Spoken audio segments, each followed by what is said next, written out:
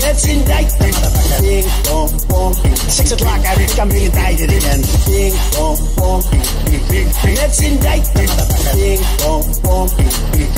You don't mind if I go off script, do you?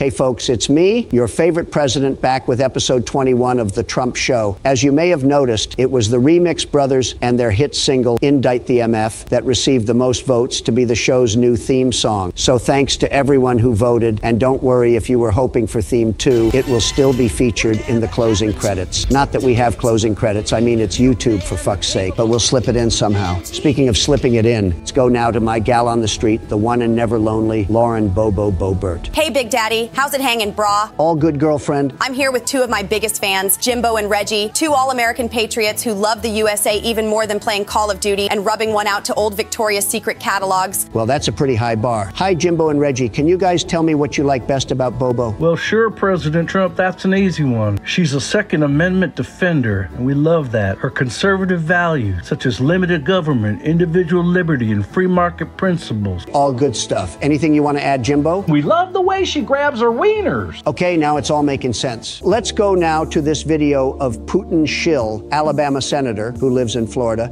and recently said of Joe Biden, I'm afraid he's going to fall down every time I turn on the television. This is Tommy Tuberville. Holy crap, that is good stuff. Thanks for flying Karma Airlines, asshole. I could watch this all day. It's surprisingly easy to hate a guy whose last name literally means potato town.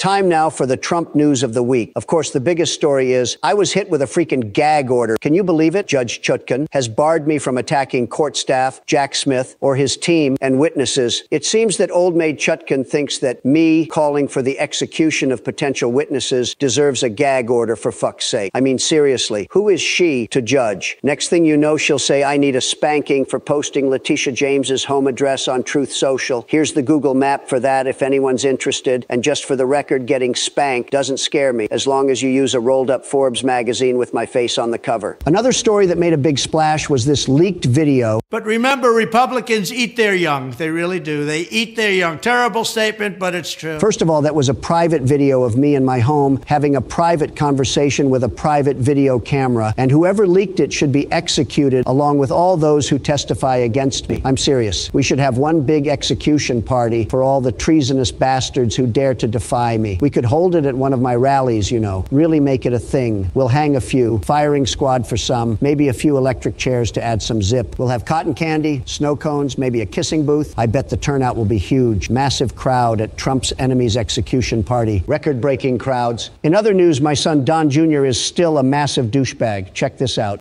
The high interest rates combating the inflation has made home ownership almost impossible for many Americans. Okay, son, I have one question for you. Go ahead, shoot, Dad. Why, for fuck's sake, do you make videos for your dumbass podcast when you can't even talk? It's the damn booger sugar, Pops. I knew you were going to say that.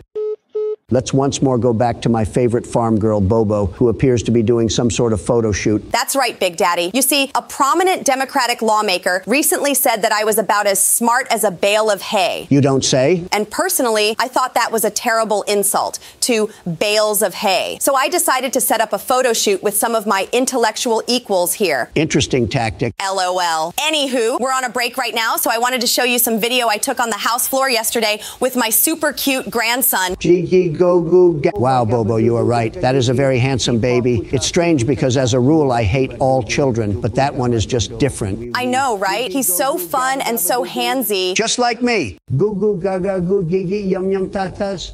As many of you know, last Saturday, our boy Scared Ketchup debuted his latest AI 4K MAGA commercial, MAGABots. And trust me, folks, these little extreme right robots are already a smash hit. Let's check in now with a few of these lovable little fascist androids and see how their newfound fame has changed their lives. Hello, President Trump. Thank you for having us on your show today. It's truly an honor and a pleasure to be here. That goes double for me, Mr. Trump. I uh, have no idea where I am right now. Okay, then let's start right there. Where the hell are you guys? We are currently me in our Magabot escape pod, traveling at light speed heading from Magabot Base Camp 1 on planet Gaffion in the Filibustera star sector. One more time in English, please. Escape pod? What are you escaping from exactly? Well, sir, at precisely 0900 hours, Magabot Star Cruiser 1 was fired upon by a rogue Antifa bot battle cruiser. So the four of us made the choice to let our Magabot comrades stay and fight while we turned our titanium tails and hauled some space ass out of there. So what you're telling me is that you all are pathetic, spineless cowards? Exactly. Can you uh,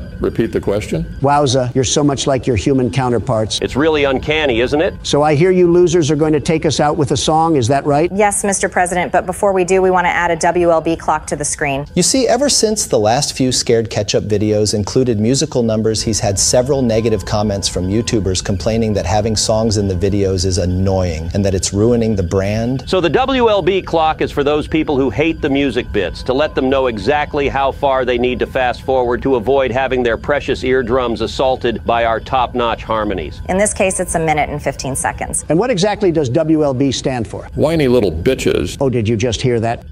It was the sound of several WLBs unsubscribing. Okay, let's do this, guys. Take it away, Mitch. That's your cue, Mitch. Uh. Come on, Mitch, this is you, buddy. Is he asleep with his eyes open? This happens a lot. Can you give us a second, sir? Okay, while we wait for them to resuscitate old fart dust, please remember, folks, if you want Scared Ketchup to keep the videos coming on YouTube, please consider hitting that super thanks, buy me a coffee link, or use the PayPal address to send the boy a little cheddar. Wake the fuck up, Mitch. Holy Mother of Christ, I'm awake, goddammit. Okay, I think we're ready. Folks, these are the Magabots. Magabots. Find me somebody to love. Find me somebody to love. Find me somebody to love. Find me somebody to love. Somebody need somebody to love. Somebody need somebody to love. Somebody, somebody. I got nobody. Find me somebody to love. Get to love. me somebody to love. Find me somebody to love. Somebody, somebody, oh somebody. Gotta find me somebody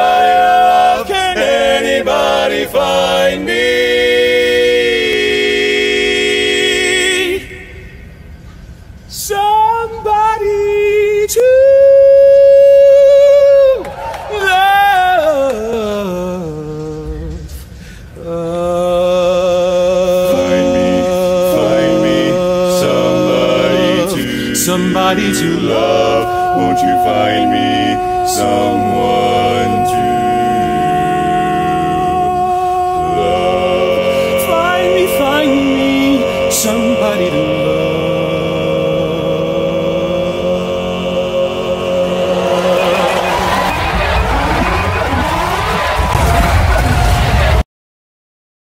Mr. Spore Rock, did the photon torpedo take out the target? I regret to inform you, Captain Brandon, that the escape pod and all four Magabot occupants made the successful jump to hyperspace. What the hell, Spore Rock? Are you kidding me? I'm just fucking with you, man. We blew those MAGA fools to smithereens. yeah. You're killing me, Spore Rock. You're killing me.